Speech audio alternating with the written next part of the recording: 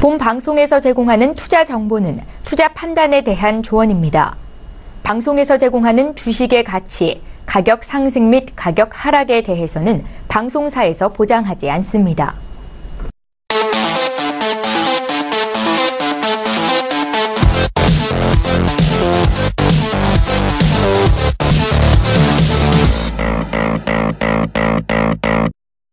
자, 시청자 여러분 안녕하십니까? 황소개구리 주식사관학교를 찾아오신 시청자 여러분 환영합니다. 개굴개굴 팍팍 에너지를 드렸습니다. 자, 오늘 월요일장이었죠. 오늘 어, 기가 막히게 반등이 들어왔네요. 예. 자, 오늘부터 이 저점을 잡는 모습을 어, 잘 봐야 될 것 같아요. 오늘 그 양봉이 코스피 예, 쿠타 오늘 양봉이 들어와서 오늘 천만 다행이죠. 그 불확실성, 미국의 대선에 대한 불확실성, 국내 시국에 대한 불확실성이 많이 어, 해소되는 모습을 보여줬거든요. 특히 미국 같은 경우에는 내일이 선거였죠. 예, 선거가 아, 우리나라의 변곡점이 되지 않을까라는 개인적으로 판단을 하거든요. 지금 물러설 게 아니고 적극적으로 어, 달라붙어야 되는 시점이다 이렇게 보시면 될 것 같고요. 아, 종목들이 많이 빠져 있어요. 어, 어, 이번 엊그제도 강연회를 갔다 왔지만 아, 우리 시청자 여러분, 그 다음 투자자 여러분 종목들 보면 다 빠져 있거든요. 아, 너무 걱정 안 하시면 돼요. 우리가 얘기했던 분산에 대한 부분들이 종목의 흐름에 분산이 안 일어났다라고 하면 그냥 들고 가시면 돼요. 어, 근데, 어, 분산 이기 전에 매집이 돼야겠죠. 그 다음에 끼와 탄력 있는 종목을 가지고 있다면 아무리 시장이 빠지더라도 들어올 때 세게 들어온다. 이렇게 우리가 포인트를 잡고 오늘 또 힘차게 한번 어, 강의를 해 보도록 하겠습니다. 자, 오늘은 어, 모의고사 안 봅니다. 그다음 top 이슈보다는 어, 제가 강의를 해서 시청자 여러분들께서 좀 더 이 차트를 보는 법이나 이 시장 흐름 사항을 어, 좀더 어, 구체적으로 볼 수 있게 오늘은 강의를 진행하도록 하겠습니다. 빨리 저쪽으로 넘어가도록 하겠습니다. 자, 가겠습니다. 야, 여기까지 예, 날로 왔네요. 시청자 여러분한테 오늘 좋은 강의를 하기 위해서 여기까지 날라왔습니다. 자, 시장 맨날 이렇게 반복되는 패턴 속에서 우리는 살아가죠. 어, 지수를 한번 어, 차트를 보면 똑같아요. 똑같은 패턴대로 우리가 어, 이 시장을 어, 지키고 있다 이렇게 보시면 될 것 같고요. 아, 이 패턴은 있잖아요. 사이클론이라 그래서 이렇게 큰 그림과 작은 그림이 있거든요. 근데 흔히들 어, 사람들은 큰 그림을 볼 생각을 않고 작은 그림만 봅니다. 그러다 보니까 이 주식 투자에 있어서 가장 많이 손해를 보는 게 아, 바로 큰 그림과 작은 그림이다 이렇게 보시면 될 것 같고요. 이 산은 항상 맞아 이렇게 어, 이렇게 보면 차트를 한번 제가 한번 볼게요. 차트 이제 시장 보는 눈으로 한번 볼게요. 자 보면 여기 보면 어, 주가는 것은 항상 이렇게 고점이 있고요. 이렇게 저점이 있어요. 이렇게 그 다음에 가장 이렇게 고점 이렇게 저점 이렇게 이 선들이 있거든요. 이게 뭐냐면 어, 어 가격의 위치라고 흔히들 얘기할 때 고점과 아, 저점이 있고 그 다음에 이 지금 가격의 위치가 어디냐 이렇게 한번 딱 한번 재볼게요. 아, 지금 국내 시장은 어디에요? 중간값 이렇게 와 있다 이렇게 보시면 될 것 같아요. 이 중간값. 자, 중고값은 뭐냐면 고점은 2117포인트를 잡아놓고 자, 중간은 1983포인트, 그 다음에 저점은 1823포인트를 이렇게 잡아놓고 우리나라 시장은 계속 이렇게 움직입니다. 언제부터? 2011년부터 이렇게 시작해서 계속 이 박스권에서 갇혀서 움직입니다. 자, 5년 동안, 어, 거의 이제 4년이라는 시간 동안 흘러갔잖아요. 이 4년 동안 흘러가는 시점에서 어, 올라갔다 떨어졌다, 올라갔다 떨어졌다 계속 하거든요. 이게 가장, 가장 큰 박스권이다. 이렇게 보시면 될 것 같은데, 아, 중요한 건 뭐냐면, 우리 개인 투자자분들이 항상 있잖아요. 이 떨어질 때만 두려워하거든요. 올라갈 때는 아, 주식을 신경을 안 써요. 근데 중요한 데는 올라갈 때가 더 신경을 쓰고 떨어질 때는 조금 러프하게 해야 되는데 에, 우리나라 투자자들은 올라갈 때는 가만히 있고요. 떨어지면 두려워하거든요. 이게 주식에 이게 반대로 생각해요. 떨어질 때는 어때요? 다시 살 수 있는 기회를 잡고 올라갈 때는 팔아야 되는 어, 그런 시점을 봐야 되거든요. 올라갈 때는 아무도 질문을 안 합니다. 아, 이거 팔아야 되는지 왜 더 올라갈 것 같은 어, 생각이 머릿속에 있는 거죠. 근데 우리나라 시장은 계속 박스권에 갇혀 있어요. 어, 거래소도 마찬가지 코스닥도 맞아요. 1년에 한 번씩은 몇 번씩, 한 세네 번씩은 급락 포인트가 나와요. 그랬다 다시 올라가고, 다시 급락 포인트가 나오고, 그래서 파동을 만들거든요. 어, 거래소 같은 경우도 나쁜 자리는 아니에요. 이렇게 러프하게 볼 때면, 자, 여기 박스권 상단과 박스권 하단이 정확히 잡혀 있거든요. 어, 볼게요. 우리나라 시장은. 자, 이거면 가장 중요해. 이게 가장 볼게요. 자, 첫 번째. 자, 거래소는 거래소는 어, 이거 되게 중요하거든요. 자, 2100포인트였죠. 아까 2100포인트에서 어, 1823포인트, 1850포인트 이렇게. 자, 여기가 어디죠? 이렇게. 여기가 어, 저점. 자, 여기는 뭐죠? 이 고점. 고점 이렇게. 그 다음에 여기가 아, 나머지는 뭐죠? 중간값 1980포인트가 아, 아까 중간값이었죠? 한 80포인트, 50포인트 이렇게. 여기가 아, 중간값이라는 얘기예요. 지금 우리나라 시장 지수는 여기 있죠? 2070포인트까지 갔다가 요 안에 있거든요. 그죠? 그럼 요 안에가 많이 빠진 거냐? 아니거든요. 이렇게. 아니다. 이렇게 보면 돼요. 근데 아, 지루할 뿐이다. 이렇게 보면 돼요. 한 달 내내 아, 시장이 쭉쭉쭉 빠져 있거든요. 그러다 보니까 지루한 거죠. 그죠? 아, 결국은 요 밴드 2070포인트까지 찍었단 말이에요. 이 고점 2070포인트 매물대라고 그랬죠. 매물대. 근데 우리 개인 투자자분들은 어, 되게 단순하시거든요. 이게 뭐냐? 아, 빨리빨리 수익이 나, 나야 된다고 생각하거든요. 빨리빨리 막 수익을 나야 된다 이렇게 생각하는데 절대적으로 있잖아요. 아, 우리나라 한 달, 예, 거의 거래일 기준이 어, 한 달을 봤을 때 한 22일 이렇게 정도 평균 한 22일 되는 것 같아요. 나머지 토요일, 일요일 빼고 공휴일 빼면 평균 22일이에요. 그러면 우리나라 상승장은 있잖아요. 한 5일 정도 되고 나머지는 있잖아요. 17일 동안 다 조정이에요. 이게 강세장일 때 있잖아요. 일단 약세장일 때 이 박스권에 갇혀 있을 때는 5일 정도뿐 일주일뿐이 안 좋고 나머지는 다 안 좋아요 시장이 그죠?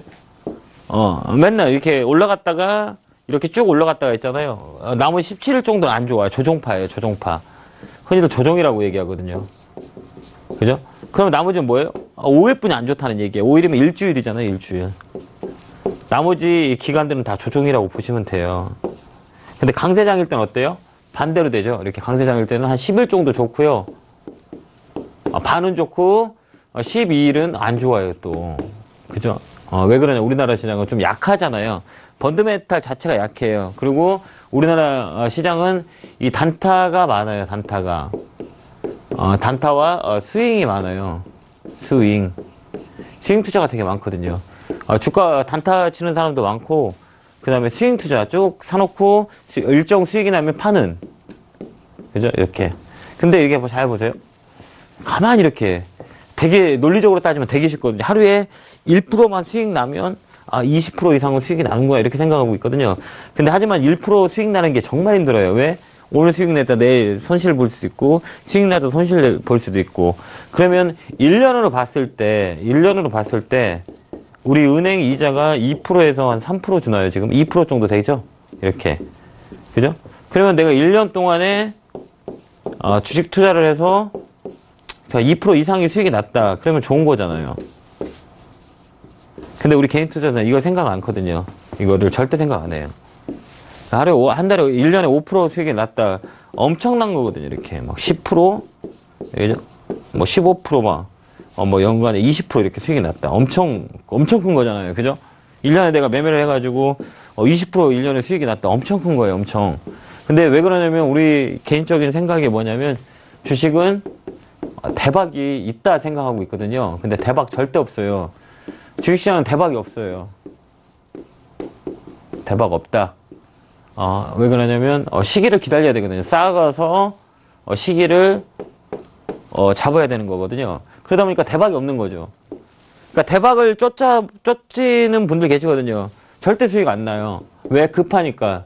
쌓아가는 거거든요. 천천히. 왜 그러냐면 사이클이 우리나라 아까도 얘기했듯이 한 달 좋으면 한 달 안 좋고요. 한 두세 달 좋으면 막 한 달에 막 급락이 나오고 막 이런단 말이에요. 사이클을 보세요. 자, 우리나라 2월 달 급락 나왔죠. 2월 달에. 그죠? 2월 달. 2월 달에 2월 달. 그 다음 또 어때요? 7, 8월 달 또 급락 나왔죠. 7, 8월 달. 그죠? 그 다음에 또 어때요? 10월 달 이렇게 예, 급락이 나왔죠. 그죠? 자, 한번 볼게요. 아, 이걸 머릿속에 딱 집어 넣는 거죠, 우리가. 자, 아, 예, 기억을 한번 해보죠, 이렇게. 2월 달 정도에 우리 우리나라 코스피 급락 나왔죠. 그 다음에 언제예요? 7월 달. 그죠? 7, 8월 달에 안 좋았단 말이에요. 그죠? 어? 7월 달 급락 나왔었죠? 그 다음에 세 번째 봐요. 10월 달. 그죠? 1년 몇두 달이죠? 이렇게 한번 보죠, 이렇게. 예. 3개월이잖아요, 이렇게. 그죠? 급락 나왔어요, 여기. 2월 달에 몇 포인트였냐면 한번 차트를 한번 보도록 할게요. 자, 2월 달에 급락이 나왔던 시점을 한번 보도록 할게요. 자, 2월 달에 급락이 나왔던 걸 한번 보도록 할게요. 자, 음, 예, 이렇게, 이렇게 한번 볼게요. 예. 자, 한번 볼게요. 자, 우리나라 2월 달 한번 볼게요. 이렇게 쭉 한번 볼게요. 2월 달에 얼마까지 빠졌냐면 한번 볼게요. 자, 어때? 2월, 3월 달이 1845포인트. 그냥 러프하게 잡을게요. 1845포인트. 그 다음 7월 달 한번 볼게요. 7월 달에 급락 나왔었죠? 어, 블랙시트 어쩌고 저쪽에서 어, 저점은 어디냐? 1920포인트. 이렇게 저점이 1890포인트. 이렇게 1890포인트. 그 다음 10월 달 한번 볼게요. 자, 10월 달 저점이 얼마죠? 이렇게 보면 저점 찍었을 때 가격을 볼게요. 1976포인트. 1976포인트. 자, 볼게요. 자, 1월 달에, 예, 1월 달 한번 볼게요. 1월 달 우리나라 시장 어때요? 이 고점이 맥스가 2000포인트였단 말이에요. 예, 1월 달에 한번 볼게요. 자, 이거 한번 잘 보여야 되는 거거든요. 이게 되게 중요한 거예요. 이렇게 보면 1월 달에 한번 들어서 얼마냐? 우리나라 1월 1일 날 스타트는 얼마로 시작했는지 볼게요. 1월 4일, 1월 이렇게 착 볼게요. 12월 31일, 1월 4일 날 우리나라 고, 고가는 1954포인트에서 출발했네요. 이렇게 1월 달 1945포인트. 1월 달이죠, 1월 달. 그러니까 1월 달하고 2월 달 이렇게 안 좋았어요, 이렇게. 그죠? 그 다음에 어 1월 달, 2월 달 그렇게 안 좋았고요. 그 다음에 또 3월 달에 이 급락이 나왔죠, 이렇게. 다시 3월 달까지는 어디까지 나왔냐면 이거 잡을게요. 자, 3월 달에 다시 어, 저점은 1917포인트까지 빠졌어요. 이렇게 3월달 1917포인트. 그죠? 1800, 1800, 잠깐만요. 1800, 예, 17포인트, 1800. 1817포인트. 여기까지 빠졌죠? 그럼 볼게요. 자, 1월달, 2월달, 자, 3월달 안 좋았어요. 그죠? 이렇게. 그죠? 잘 보세요. 그 다음에 또 이제 저점을 타고 올라가서 자, 6월 달 있죠? 어, 3, 4, 5, 6월 달까지는 좋았어요, 또. 그죠? 어, 4, 5, 6, 4, 5, 6월 달이 좋았다. 이렇게 보면 돼요. 자, 여기 4월, 5월, 6월 달까지는 괜찮았어요. 그죠? 자, 3개월 좋고요. 자, 이렇게 볼게요. 어, 3개월 좋았죠? 3개월 좋고, 3개월 안 좋았어요. 그죠? 자, 1월, 2월, 3월 달은 어, 급락장. 자, 여기는 급락. 이렇게 급락이라 적어볼게요. 급락. 그 다음에 여기 3월 달, 저 4월, 5월, 6월 달은 그대도 반등. 이렇게. 반등. 그죠? 그 다음에 또 7월, 8월 달 한번 볼게요. 자, 7월 달 볼게요. 급락이 나와서 7월 달부터 어, 저점을 잡고 1901포인트에 저점이 나왔죠. 이렇게.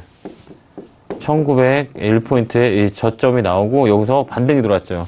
7월 달 부터 또 어디까지요? 9월 달까지는 그나마 아, 괜찮았습니다. 9월 달까지. 그죠? 9월 달까지, 7, 8, 9월 달까지는, 어, 1900, 2070포인트까지 찔렀으니까. 그죠? 어, 아, 좋고, 안 좋고, 그 다음에 좋고, 또 어때요? 어, 9월 달부터 고점을 찍고 있잖아요. 9월 달부터 시작해서 이렇게 쳐졌다가 다시 10월 달까지 두 달 정도 이렇게 조정이 들어왔죠. 또 이렇게 두 달. 자, 이렇게 보면 어때요? 어, 이제 포시가 되죠? 자, 우리나라 시장 세 달이 좋으면 세 달이 안 좋고, 어, 두 달이 좋으면 두 달이 안 좋고, 좋다, 안 좋다, 이렇게 반복되는 패턴이잖아요. 거기서 중요한 건 뭐냐? 어, 이거 봐봐요. 중요한 사이클이라는 게 있잖아요. 근데 중요한 건 뭐냐면, 이 저점을 높여간다는 얘기인 거예요. 이렇게 뭐예요? 어, 이렇게, 여기, 그 다음에 여기, 여기 한번 딱 볼게요. 이렇게 한번 볼게요. 자, 볼게요. 어, 2월 달에, 2월 말일 날, 2월 말일 날 이렇게 한번 또 볼게요. 다시 한번 볼게요. 자, 이제 2월 말일 날, 2월 말일 날 저점을 찍었죠? 포인트가 뭐였냐면, 한번 볼게요. 어, 2월 말일 날 포인트가, 여기가 저점이, 종가가, 어, 1835포인트. 1835포인트. 그 다음에 한번 또 볼게요. 자, 다음은 언제 어딘가 볼게요. 저점을 잡았을 때가 어디냐 이렇게 보는 거죠. 여기 요 라인이죠. 자, 6월 달에 자, 6월 달에 얼마인가 볼게요. 6월 24일 날 종가가 1925포인트. 그죠? 어, 6월 달에, 6월 달에 이렇게 에, 저점을 어느 쪽에 잡았냐라고 하면 종가가 1925포인트. 어, 6월 달에 1925포인트. 그죠? 여기가 1925포인트. 그 다음에 지금, 어, 여기 볼게요. 11월 달에, 어, 뭐예요? 11월 달에 뭐죠? 자, 지금 저점 나왔죠? 어디까지 빠졌었냐면, 어, 종가가 1983포인트. 1983포인트. 자, 이거 한번 보세요. 자, 이게 조정은 맨날 들어요. 이렇게 조정을 맨날 주는 파동이잖아요. 1900, 어, 1835포인트. 그 다음에 1925포인트, 1983포인트. 그럼 어때요? 이 저점이 어떻게 올라간다는 거죠? 이렇게 천천히 봐봐요. 자, 2월 달에 1800 찍고, 그 다음에 6월 달에 어때요? 어, 1925. 그 다음에 11월 달에 어때요? 1983. 저점을 계속 높인다는 얘기인 거죠? 그죠? 그죠? 저점을 높인다는 얘기예요. 자, 여기서 밴드 추세대가 이렇게 만들어지겠죠. 올라갔다 떨어졌다가 올라갔다 떨어졌다가 이렇게 이렇게 추세를 만든다는 얘기예요. 이게 추세대라는 얘기예요. 그럼 여기서 우리가 울고 울 필요가 없다는 얘기예요. 왜 그러냐면 아, 종목이 빠진들 시간이 주면 올라가는 거니까 올라가는 파동이라 그러죠. 그러니까 요 라인에서는 이렇게 반등이 들어와. 아 그럼 시작이 나빠요 안 나빠요? 안 나쁘다는 얘기예요. 그냥. 어 근데 우리 개인 투자자들은 안 가니까 막 이 종목들이 있잖아요. 빨리빨리 움직여야 되는데 빨리빨리 안 움직이니까 어, 힘든 거죠. 근데 여기는 대박이 없다니까 주식은 정말 대박이 없어요. 아 정, 정말 대박이 없어요. 없, 없어. 버려버리세요. 그 생각을 아예 접어버려야 돼요. 어, 대박이 있다면 너도 나도 하겠죠. 주식을 해서 대박을 다 보겠죠. 근데 대박 절대 안 나요. 쌓아가는 거예요. 왜 그러냐면 아까도 얘기했듯이 우리가 1월, 2월, 3월 달 안 좋고 4, 5, 6, 6달 세 달 좋고 또 어때요? 7월, 8월 달 또 급락 나오고 또 올라왔다가 또 10월 달 또 급락 나오고 맨날 이렇게 움직이는 시장이 우리나라 시장이거든요. 여기서 무슨 대박이 있어요? 없지. 어, 쌓아가는 거예요, 이렇게.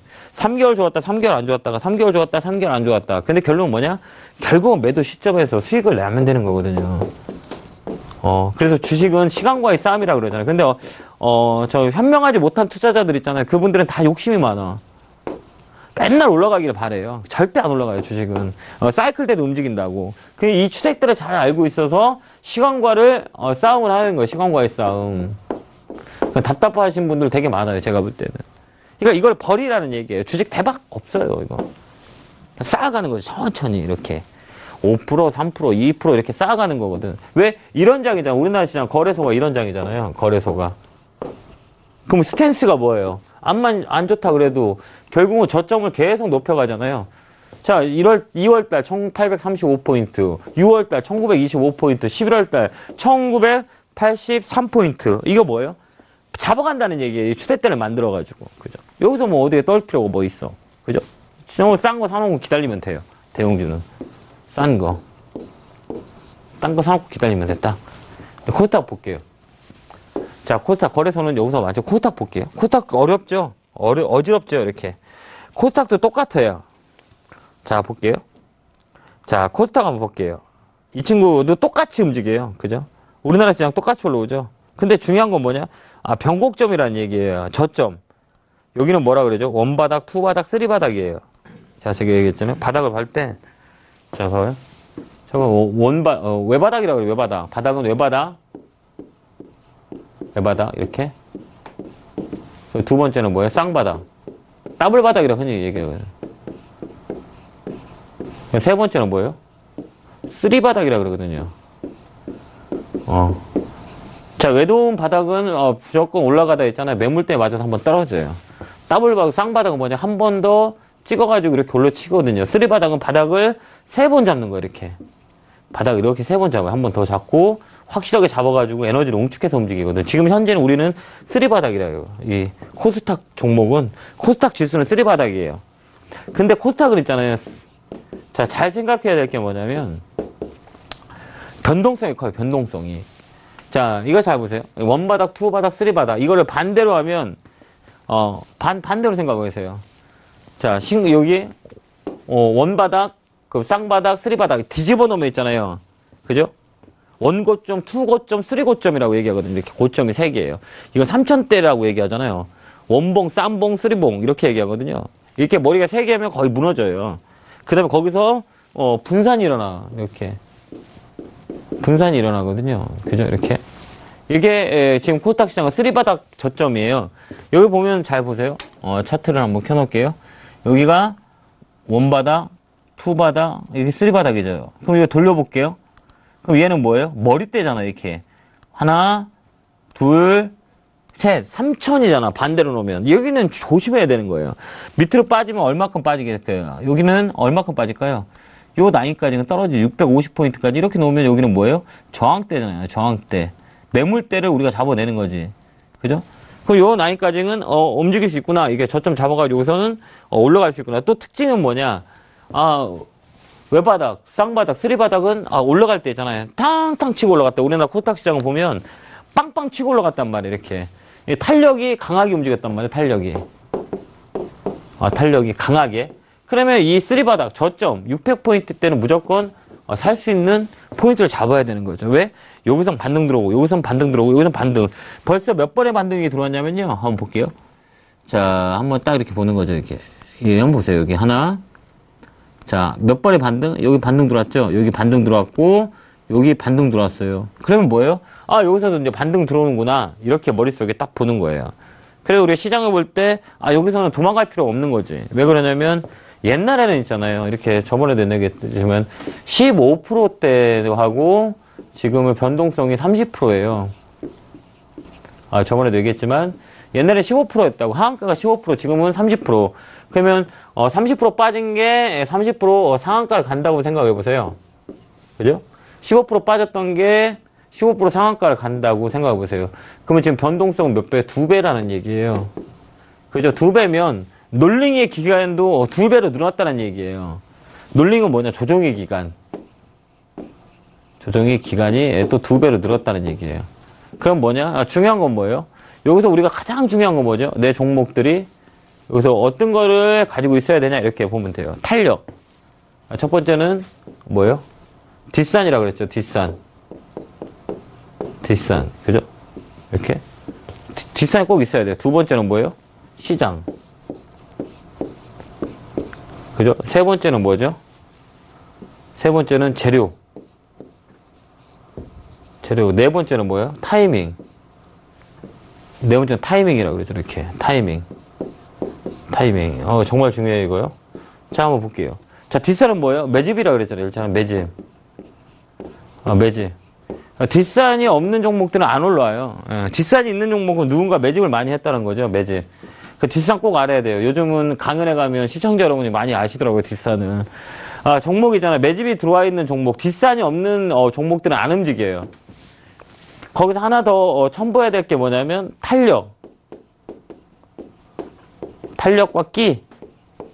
탄력과 끼는 뭐냐면 어, 종목들을 딱 보는 거예요. 이렇게 보면 기존에 움직였던 어, 이 가격대 프로테이즈를 딱 한번 보세요. 2000 얘를 어, 언제부터 줘야 하냐면 그냥 최근에 뭐 2014년 14년부터 놓고요. 이렇게 딱 놓고 얘가 한 번 움직일 때 어디까지 움직이냐 이렇게 대비율을 딱 보는 거예요.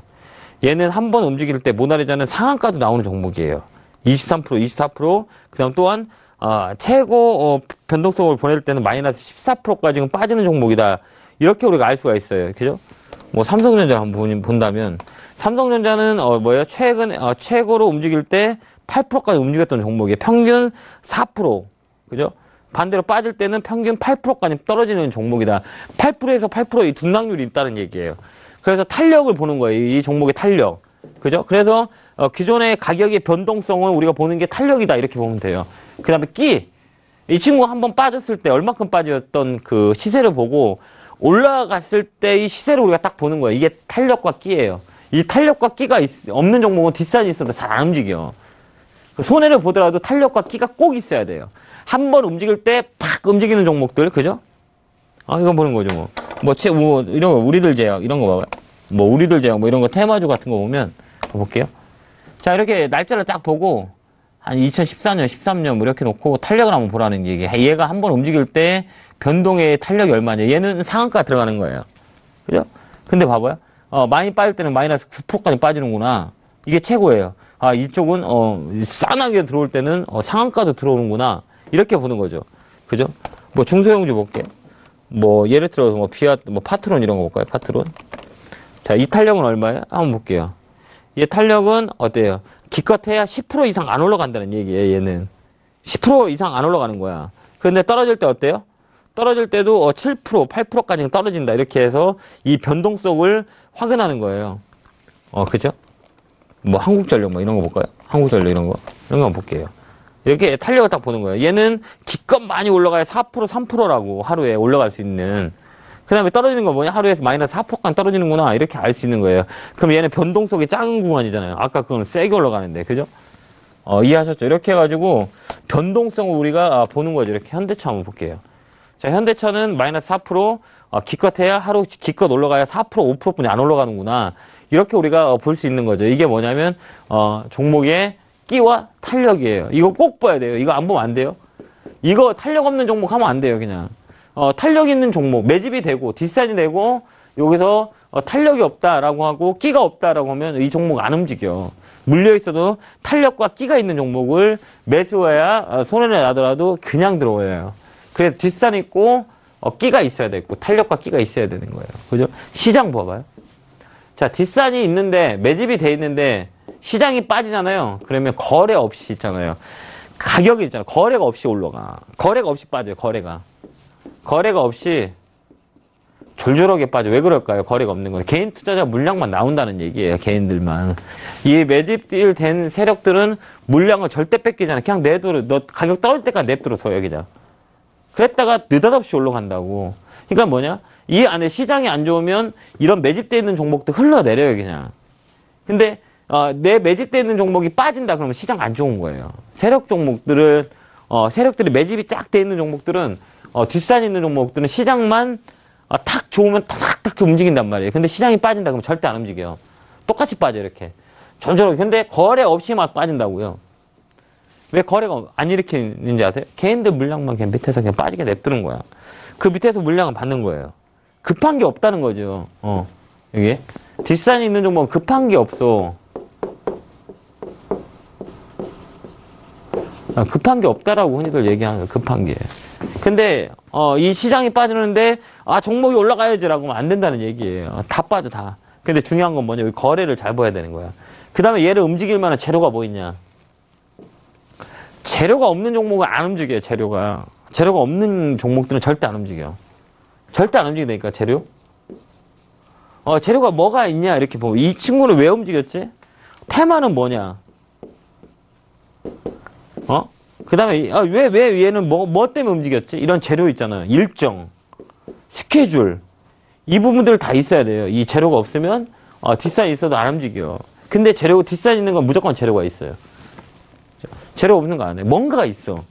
그거 우리가 어떻게 알아요? 구, 이렇게 막 귀를 통해서 듣는 게 아니라, 이 뒷산의 흐름을 딱 보고 알 수 있는 거죠, 재료. 그 다음 타이밍은 뭐예요? 이거 가장 중요하지. 자, 타이밍 볼게요. 자, 우리가 뒷산은 배웠고, 자, 네 가지 포인트 잡을 뒷산. 자, 두 번째는 뭐예요? 시장.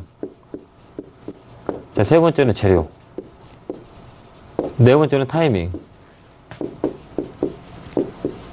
자, 이번 타이밍 잡을 때는 어때요? 일단은 일봉 보고. 그죠? 일봉 보고. 일봉이 되게 중요하죠. 그죠? 자, 일봉에 5일선, 7일선, 3호선, 15라인. 자, 볼게요. 아, 자, 5일선. 타이밍 잡을 때 5일선. 그죠? 그 다음에 7일선. 그 다음에 15일선. 그 다음에 3호 라인. 100. 그죠? 여기 이평선이잖아, 이게. 어, 타이머 잡을 때. 그러면 5일선은 뭐예요? 5일선 깨지지 않는, 급등주는 5일선 깨지 않는 거야. 급등주선이라 그러죠. 급등주. 급등주는 5일선 깨지 않아요. 타고 올라가, 그냥. 타고 올라가요. 7일선 뭐예요? 5일선에서 눌림목을 들어올 때. 눌림목. 좀 센 거죠. 15일선까지 빠져도 얘도 강한 거예요. 15일선까지는. 2주 정도 조정을 준 거니까 15일 라인은 되게 강한 거예요. 3호 라인은 수익 매매할 때 35일선 이렇게 35일선 35일 동안 어, 조정을 준 거예요. 조정. 그 이거는, 거의 다 보면 가격 조정이 되게 많아요. 그죠? 얘는 뭐 기간 조정, 가격 조정 다 일어나는 거지. 기간과 플러스 가격이 다 일어난 거지. 그럼 뭐야? 내가 빠른 걸 좋아한다. 그러면 최소 15일 안에 있는 캔들이 위에가 있는 종목만 매매하면 돼요. 매매를 이쪽 안에서 매매를 하는 거지. 근데 나는 좀 중장기적으로 하는 종목 좋다. 그러면 어때요? 자, 35일 선이나 100일 선을 잡아가지고 반등 들어오는 거. 100일 선 반등 들어오거든요. 얘는 중장기적으로 끌고 가면 돼. 단 여기서 뭐예요? 이렇게 매집이 된 전제 조건이죠.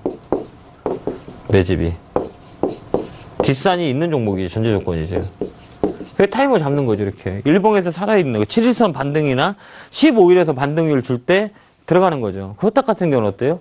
매수 시점은 어때요? 오전보다는 오후가 되는 거지.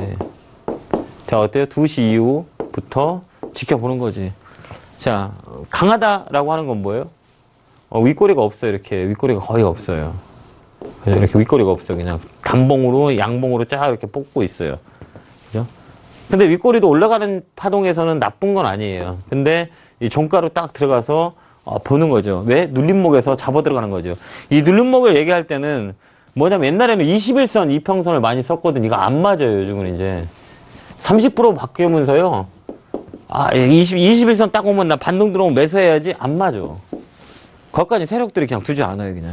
21선은 흔히들 세력선이라 그러거든요. 근데 이건 안 맞다고. 그래서 요즘 15일 이평선을 많이 쓴다고요. 이 트렌드가 계속 바뀌면서 바뀐다고. 옛날에 15%대도 21선 봐야 됩니다. 이렇게 막 떠들었잖아요. 근데 지금 뭐 돼요? 30%로 바뀌었는데 지금도 21선 봐야 될까요? 아니죠. 안 보지. 왜 30%대하고 15% 15%일 때도 21선 지금도 31%대도 21선 안 맞죠. 그죠? 안 맞지, 안 맞지. 왜 맞아요? 왜 안 맞죠? 가격이 프로테이지가 변동성이 다른데. 그럼 20일선 백날 해도 안 맞다는 얘기예요. 그죠? 왜 그러냐면 기본 원칙이 있거든. 사람들 심리대를 건드리는 자리거든요. 안 맞다는 얘기야. 그래서 20일선은 왜 이렇게 안 맞아요? 라고 얘기하거든요. 얘 20일선 있잖아. 다시 반등 들어오면, 아, 여기서 데드크로스 나면 무조건 손절하거든요. 사람들. 일반적인 투자자는 20일선 기준으로 잡아서 매매하거든. 그래서 이 데드크로스 나면 매도를 해버려요. 근데 요즘 어때요? 매도하면 올라온다고. 절대 여기서 지켜주자. 한 번 더 밀어버려요. 그래서 이 밀리면 3호 라인에서 반등 들어와요. 35일선. 21선 깨지면 35일선까지 와서 반등 들어와. 옛날에 61선 반등이라거든요. 중장 이평선이라 61선 이게 반등 들어온다고. 근데 지금은 안 들어와요. 3호 라인까지 안 줘. 그냥 61선 깨지면 100일선 잡고요. 이게 뭐냐면 가격의 위치만 보는 거야. 그죠? 여기 타이머 잡아야지. 이게 이평선들이 매번 바뀌어요. 어, 지금은 어, 15 이평선을 쓰면 거의 맞아요. 15일선을 쓰면 도움이 많이 될 겁니다. 더 빨리, 빨리빨리 대응해야죠. 그래서 15이평선을 어, 가지고 매매를 많이 하고 있거든요. 5일선 다 똑같고, 그 다음에 중간에 7일선. 7일선 매매 기법을 한번 써보세요. 그 다음에 15, 그 다음 35. 그럼 이쪽에 타이머 잡죠. 타이머 잡 때는 5장에 붙여서 매매를 그랬죠. 5장에, 5장에 붙여서 매매해야 돼. 오전장 하면 필요 없어요. 오전장, 오전장에 붙으면 안 돼요. 그러니까 오후장 있잖아. 점심 먹고 와서 2시에서 이렇게 3시 정도에 포인트를 잡아야 돼요. 그죠? 자, 첫 번째는 뭐냐면 아침에 따라가면 정말 밀려요. 이렇게 밀리는 경우가 되게 많아요. 왜 그러냐면 시간이 많잖아. 장 끝날 시간이 이렇게 많죠. 두 번째, 오후장에 붙여서 매매해야 돼. 분봉에서 이렇게 샀다 팔았다 막 이렇게 싸우잖아요. 체결 강도를 가지고 막 이렇게 왔다 갔다 하잖아요. 근데 이쪽으로 보여야 되는 게 뭐냐면 종가까지 잡아주는 가격을 잡는다 그러거든요. 누군가 그 가격에 계속 잡는 걸 봐줘야 돼, 이거를. 그죠? 그래서 이 오후장에 붙여서 매매하는 게 되게 좋아요. 그때는 뭐냐, 20분 봉을 좀 잘 보는 게 좋아요. 20분 봉을 왜잘 봐야 하냐? 이렇게 보면 코탁은 20분 봉. 3자잖아요. 20분 봉이면 어, 봉을 3개 확인할 수 있어요. 1시간 봉을 그죠? 어, 3개 봉을 보고 결정을 할 수 있어요. 그래서 20분 봉이 예, 잘 맞아요. 어. 어, 흐름을 볼 때는 20분 봉을 보고 봉 3개를 확인해서 어, 대응하면 되거든요. 예, 그래서 20분 봉에 봉 3개. 캔들이죠. 봉은 캔들이라고 얘기하죠. 캔들. 캔들을 어, 3개 확인하는 거지.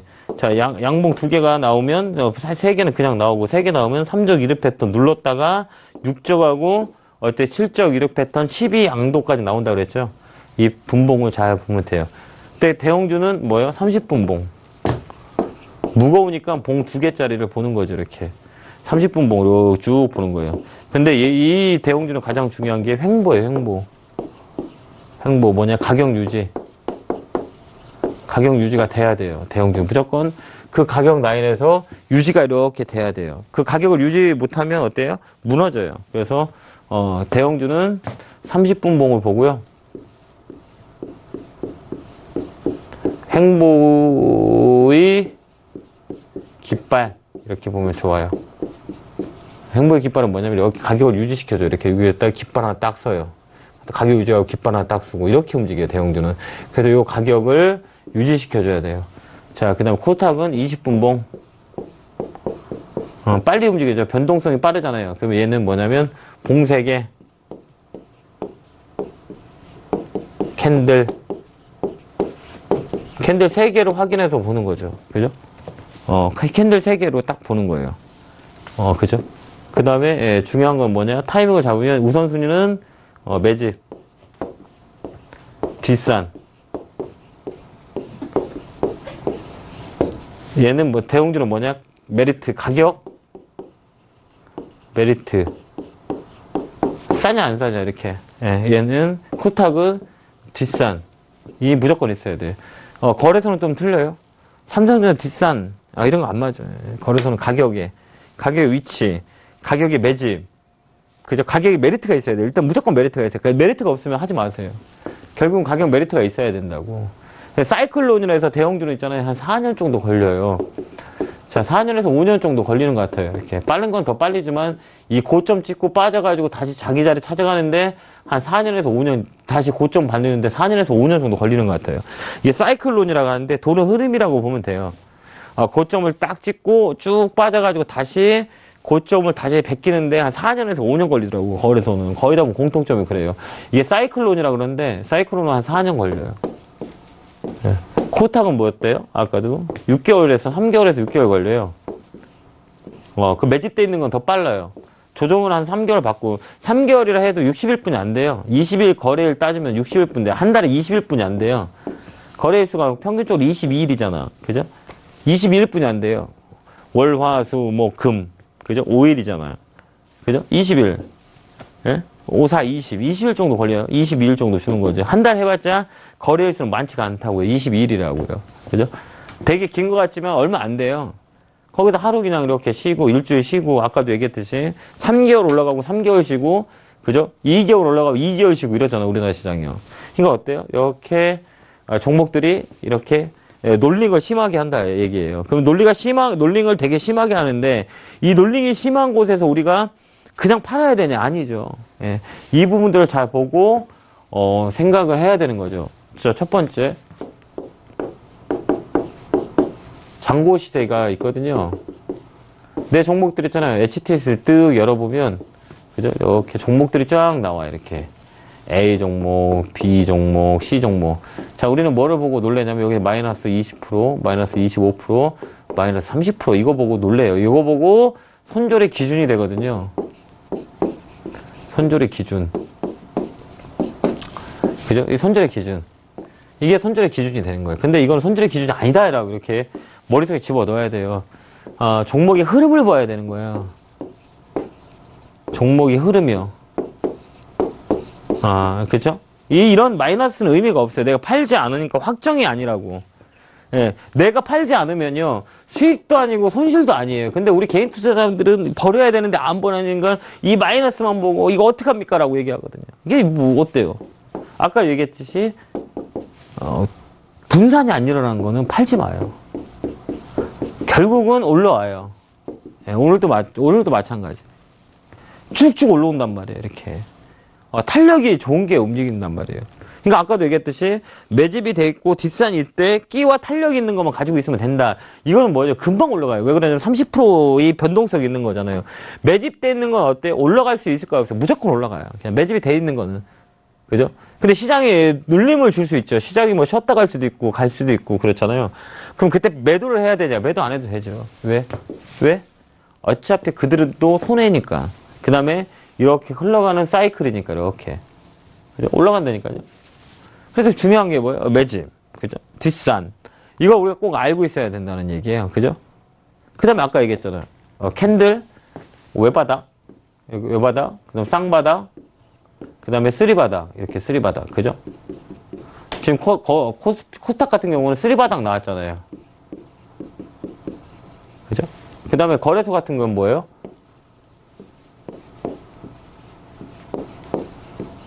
three고점 나오잖아요, 이렇게. 하나, 둘, 셋. 이 저점을 계속 높, 높이잖아요, 이렇게.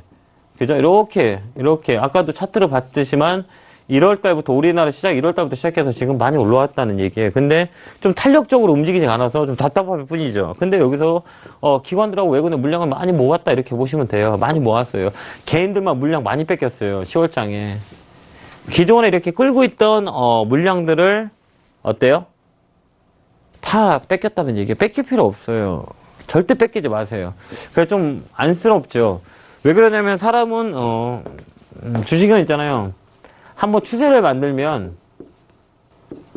고점을 만들고요. 그다음에 신고가를 만들고 그 다음에 파이널이 있어요. 7부 능선을 만들어요. 고점에서 거래 빵 터져갖고 주가를 한번 쫙 끌어올려요. 여기 7부 능선에서 얘는 소멸돼요. 이렇게 분산이 일어나.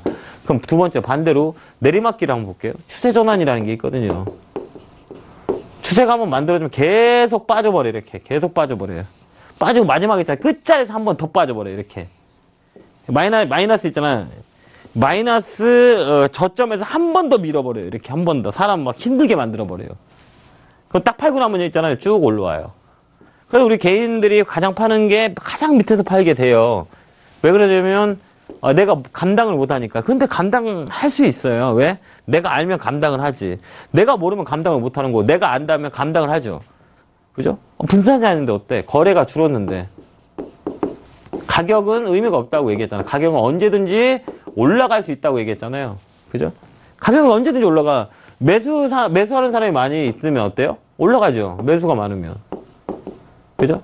가격은 오는 내일 매적 바뀌어요. 살아서 움직이는 거야. 근데 뭐예요? 거래가 가장 중요한 거지. 누가 많이 거래 물량을 맞이고 있냐. 그래서 뒷산,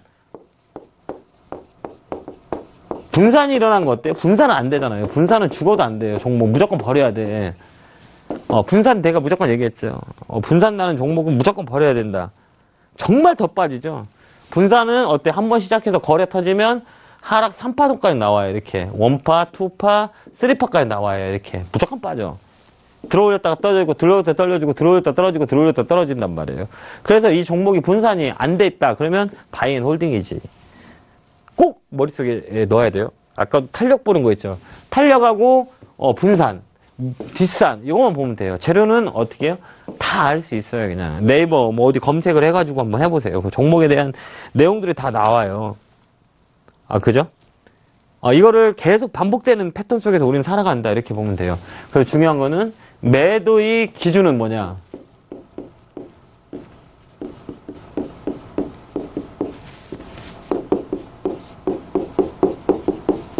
자, 매수의 기준은 뭐냐? 매수의 기준은 뭐냐? 뒷산과 재료죠. 이거는 매도의 기준은 뭐냐? 분산이에요. 내가 데이 트레이딩이다 라고 하면 말이 좀 달라져요. 내가 단타를 치는 사람이다. 근데 우리 개인 투자자가 단타를 칠 수 있는 사람이 몇 명이나 될까요? 많지 않단 말이에요. 그럼 이 기준으로 잡으라는 얘기예요. 데이 트레이딩 모니터를 한 8개 이상 써요. 8대 이렇게. 이렇게 8대를 쓰고 있거든요. 이렇게. 네, 이렇게. 이게 day trading, 단타라고 얘기하거든요. 이렇게 모니터가 다 세팅되어 있어요. 이렇게. 하루 종일 이 모니터를 보고 어, 단타를 치는 사람들이에요. 근데 일반 시청자 여러분들이 단타를 친다. 이건 말이 안 돼. 손해 다 봐요. 이, 이, 이 사람들하고 싸워야 되는데. 그 머리 막 들어가 손도 빠지고 막 주문창도 있잖아요. 숫자로 막 눌러야 되는 거거든요. 이거 안 맞다는 얘기예요. 단타 치는 거 절대 안 맞아요. 근데 어, 급한 마음에 이 단타를 치고 싶어 하죠. 음, 단타도 시장이 좋을 때가 단타가 많고, 선수들도 어, 시장이 안 좋으면 단타를 못 쳐요. 왜? 똑같이 물리니까. 그죠? 그러려면 뭐예요? 이 기준부터 잡아가는 게 가장 중요한 거죠. 단타 이전에 내가 단타를 칠 수 있는 사람인가를 정확히 알아야 되는 거예요. 그죠? 내가 실력이 백그라운드 돼야 어때요? 그죠?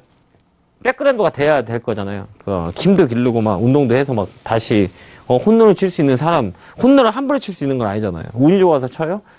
어, 그죠? 그 안 나온다고. 운동도 하고, 막, 배트도 막 연습을 하고, 막, 어, 체력도 기르고 해야 홈런이 나오는 거잖아요. 그죠?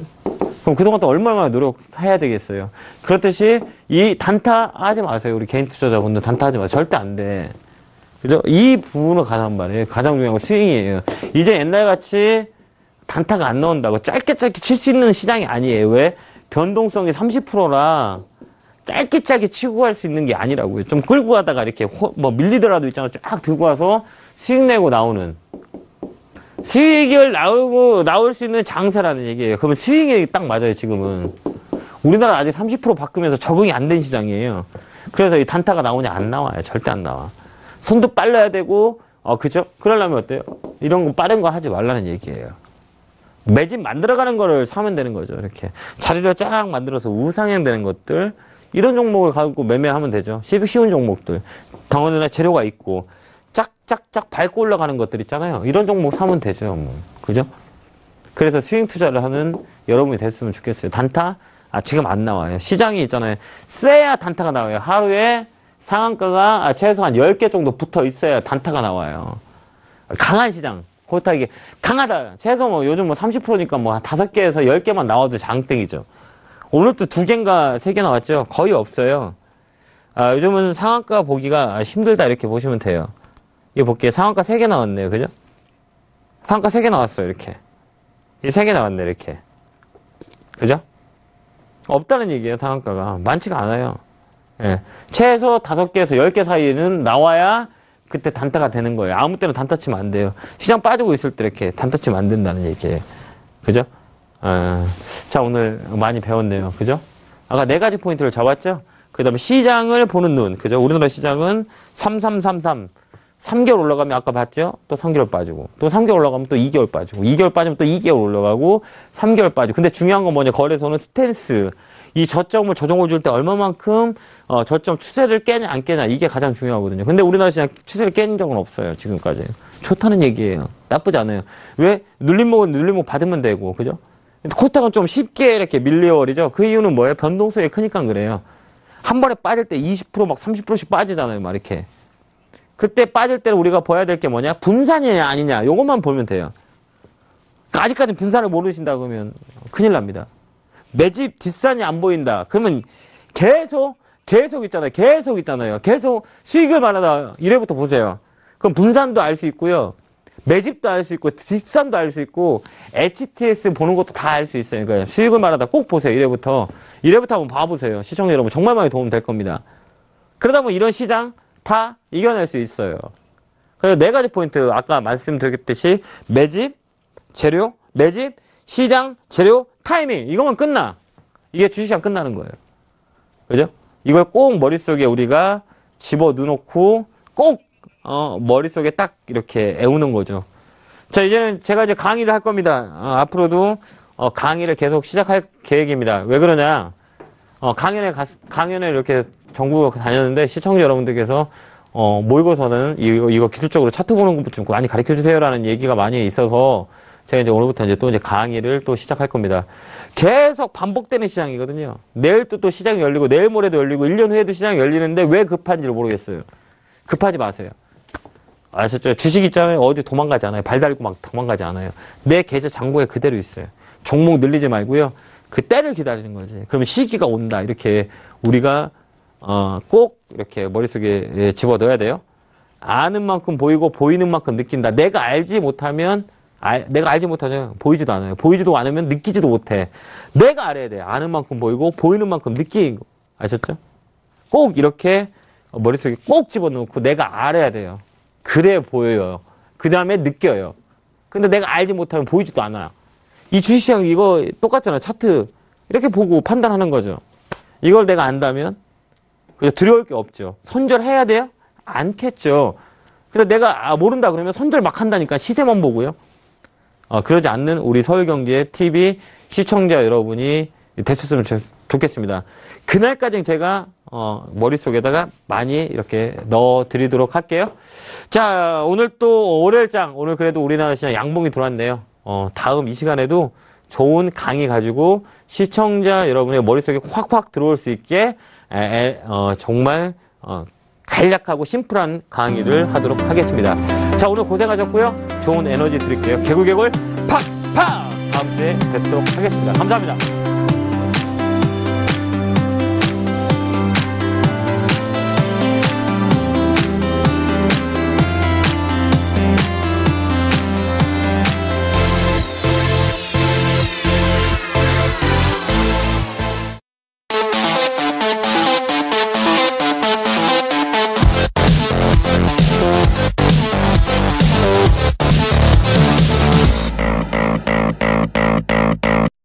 방송에서 제공하는 투자 정보는 투자 판단에 대한 조언입니다. 방송에서 제공하는 주식의 가치, 가격 상승 및 가격 하락에 대해서는 방송사에서 보장하지 않습니다.